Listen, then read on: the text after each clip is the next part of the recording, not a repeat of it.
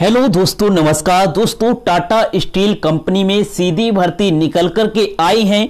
जी हाँ दोस्तों Tata steel company में सीधी भर्ती निकल कर के आई है। इसका ऑफिशियल भी नोटिफिकेशन भी जारी हो गया है। कोई इंटरव्यू नहीं होगा, कोई एग्ज़ाम नहीं होगा और कोई भी फ़ीस नहीं जाएगी। अगर हम दोस्तों यहाँ पर सैलरी की बात करें तो सैलरी बत्तीस हज़ार रुपए से ज़्यादा आपको यहाँ पर सैलरी मिलने वाली है लगभग। जी हाँ दोस्तों, बत्तीस हज़ार रुपए प्रति मंथ के हिसाब से लगभग आपकी यहाँ पर सैलरी होने वाली है।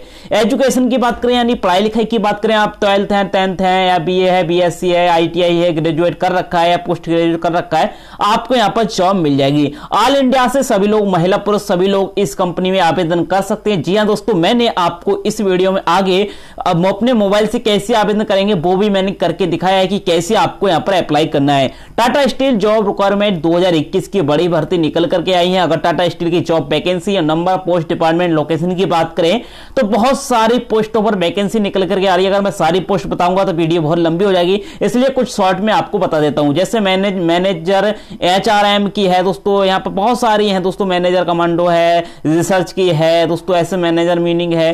बहुत सारी यहाँ पर पोस्टें अगर मैं बताने लगूँगा तो बहुत ज़्यादा यहाँ पर टाइम लग जाएगा। अगर हम जॉब लोकेशन की बात करें तो मल्टीपल लोकेशन है ऑल इंडिया जी हाँ दोस्तों मल्टीपल लोकेशन इन इंडिया यानी कि इंडिया में आपको कहीं पर भी जॉब मिल सकती है, जहाँ इसकी ब्रांचें हैं दोस्तों। हु कैन अप्लाई यानी कि कौन कौन अप्लाई कर सकता है टाटा स्टील जॉब के लिए? तो ऑल इंडियन कैंडिडेट अप्लाई कर सकते हैं, चाहे वो मेल हो, चाहे फीमेल हो, यानी कि दोनों ही लोग यहाँ पर अप्लाई कर सकते हैं। Tata steel job vacancy for fresher age limit क्या रखी गई है? यहाँ पर दोस्तों एक्सपीरियंस की बात करें, अगर आपको एक्सपीरियंस नहीं है, आप फ्रेशर हैं, तब भी आपको यहाँ पर जॉब मिल जाएगी, आप अप्लाई कर सकते हैं। मिनिमम जो एज रखी गई है, वो यहाँ पर रखी गई है एटीन वर्ष। जी हाँ दोस्तों एटीन वर्ष आपको यहाँ पर जो है उम्र रखी गई यानी कम से कम आपकी उम्र अठारह वर्ष होनी चाहिए। अगर हम यहाँ पर एज रेगुलेशन की बात करें, जो कंपनी के रूल वगैरह होते हैं, उसके मुताबिक आपको यहाँ पर जैसे ओबीसी कैंडिडेट है तो तीन ईयर की छूट मिल सकती है एस सी कैंडिडेट है तो आपको पाँच ईयर की छूट मिल सकती है। पीडब्ल्यू कैंडिडेट है तो दस ईयर की छूट आपको मिल सकती है। टाटा स्टील जॉब यहाँ पर निकल करके आई अगर एजुकेशन की बात करें इसके तो अगर आप टेंथ हैं, ट्वेल्थ हैं, या जैसे कि मैंने बताया, उस तरह से अगर आप हैं तो यहाँ पर काम मिल जाएगा। अब दोस्तों, बात करते हैं कैसे अप्लाई करना है। ये चीज़ आपको ध्यानपूर्वक देखनी है। अप्लाई करना है आपको अपने मोबाइल फ़ोन से।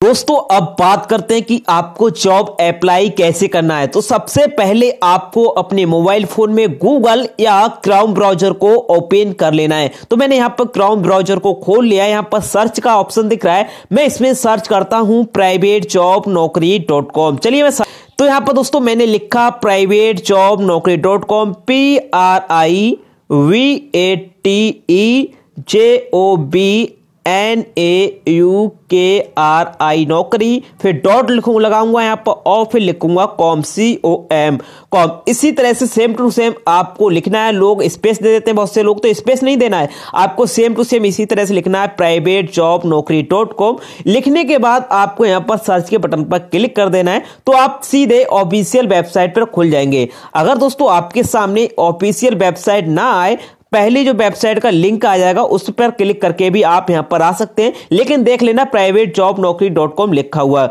उसके बाद यहाँ पर आएँगे, और जो भी आप जॉब देख करके आ रहे हैं, सब यहाँ पर सर्च के ऑप्शन में सर्च करके आप वो जॉब ढूंढ सकते हैं। अगर ऊपर आपको ना दिखे ना तो ऊपर सबसे पहले आपको वो जॉब दिख जाएगी, ना दिखे तो आप ऐसी में सर्च कर सकते हैं।